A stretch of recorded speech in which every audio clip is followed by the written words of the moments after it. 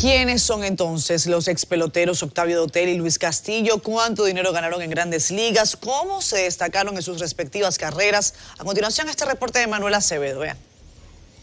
Los ex jugadores de grandes ligas, el lanzador Octavio Dotel y el intermedista Luis Castillo, han sido vinculados por el procurador de la República Dominicana, Jean Alain Rodríguez, en la red de narcotráfico y lavado de activos que encabeza César Emilio Peralta, el abusador, señalado como el principal cabecilla del narcotráfico en República Dominicana.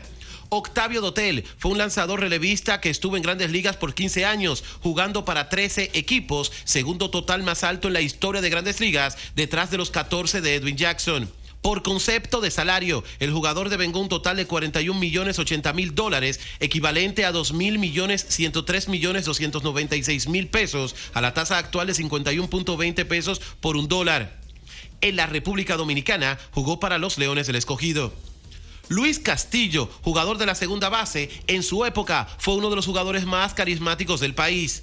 Jugó para tres equipos, Marlins, Mellizos y Mets, por espacio de 15 temporadas. Ganador de tres guantes de oro y miembro del All-Star Game en tres ocasiones. Devengó un salario total de 56 millones 857 mil 840 dólares, equivalente a 2 mil millones 911 mil millones 121 mil 408 pesos, a la tasa de 51.20 pesos por cada dólar. Su popularidad en la República Dominicana creció por su participación en la pelota otoño-invernal con los Tigres del Licey, siendo el líder de varios campeonatos del equipo azul. Manuel Acevedo, CDN.